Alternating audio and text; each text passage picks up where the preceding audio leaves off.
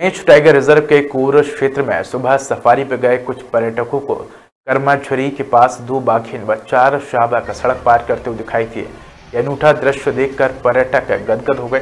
बाघिन और उनके शावकों के सड़क पार करने के दौरान जिप्सी चालक और गाइड ने आवश्यक दूरी बनाए रखी।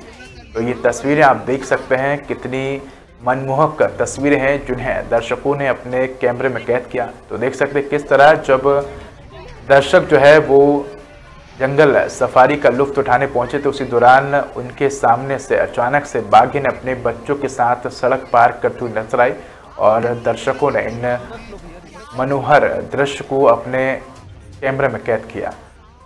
तो आप देख सकते हैं कि इसमें बाघिन और शावक आराम से सड़क पार कर घने जंगल में गुम हो गए। तो नेचुरलिस्ट ने बताया कि कर्माछुरी के पास रूनी झुनी नाम की दो बाघिन, चार शावकों के साथ पेंच टाइगर रिज़र्व के पूर्व क्षेत्र की कच्ची सड़क पार कर रही थी। इस अद्भुत दृश्य को बड़ी संख्या में पर्यटकों ने देखा। पर्यटकों ने इस दृश्य को अपने कैमरे में कैद भी किया। पेंच टाइगर रिज़र्व के फेसबुक पेज पर भी इस दृश्य के वीडियो को अपलोड किया गया और इसमें उचित दूरी बनाए रखने के लिए जिप्सी चालक और गाइड की सराहना भी की गई है। คื好รถที่เราเ